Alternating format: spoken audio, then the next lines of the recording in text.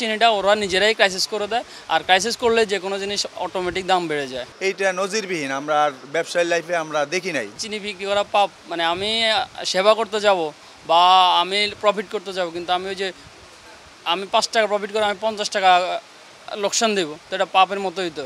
সরকার যখন চিনির দাম কমিয়ে দিল চিনির দাম কমিয়ে দেওয়ার পর বাজারে চিনির দাম না কমে উল্টো বেড়ে গেল ঘটনাটা কি হলো? চিত্রটা উল্টো হলো মেল থেকে চিনি সরবরাহ বন্ধ করে দেয়।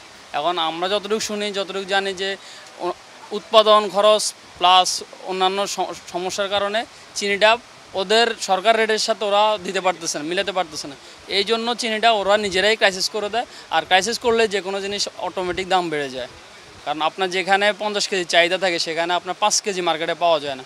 তখন পাঁচ কেজি যখন পাওয়া না যায়, আমার দশ দোকান না পাইলে এক দোকানে পায়। তখন উনি যদি একশো বিশ টাকা বলে যে যার ঠেকা আছে, সে একশো বিশ টাকা দিয়ে নিতে হবে।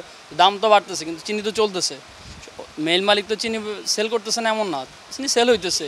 কিন্তু যেখানে সে পাঁচশো কেজি সেল করবে, সেখানে সে দুশো কেজি সেল করে প্রফিটে সে পাঁচশো কেজি নিয়ে যাইতেছে। যে রেট সরকার নির্ধারণ করছে, আমরা সরকারের কাছে এবং বক্তব্য বারবার বলছি যে আপনারা একটু আমাদেরকে, এই প্রত্যেকটা মেলকে বলেন, সরকারের যে রেটটা আছে, এই রেটটা আমাদেরকে দেওয়ার জন্য। কিন্তু আসলে এই রেটগুলি কোনো মেলে দিচ্ছে না। আপনি যদি বলেন যে সরকার রেট অনুযায়ী আমাদেরকে মালটা বিক্রি করতে এখন এই রেটের মাল যদি কোনো মেল আমাদেরকে না দেয় তাহলে আমরা যদি বেশি রেটের মাল মৌলিবাজার বা যে কোনো জায়গার থেকে যদি না আনি বেশি তাহলে তো চিনির বিশাল সংকট পড়ে যাবে। আরও মার্কেটে হাউকে লাগবো।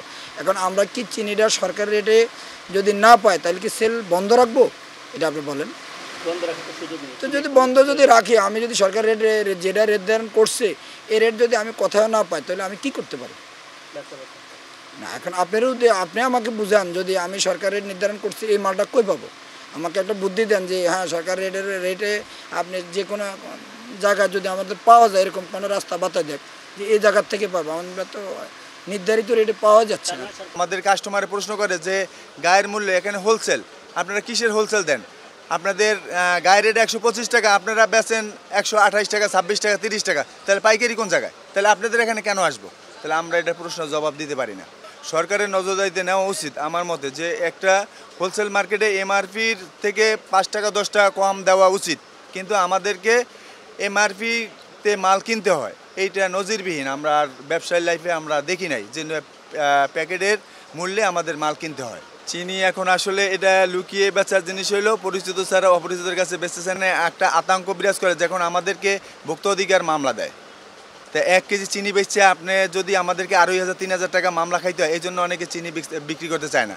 অনেকে চিনি কিনতে আইসা বলে যে আমাকে একটা স্লিপ দেন। তো স্লিপ দিলে মানে সরকার যদি নির্ধারণ করে দেয় একশো বারো টাকা চিনি, আমি যদি একশো তিরিশ টাকার স্লিপ দিই, তাহলে তো মামলা অবশ্যই।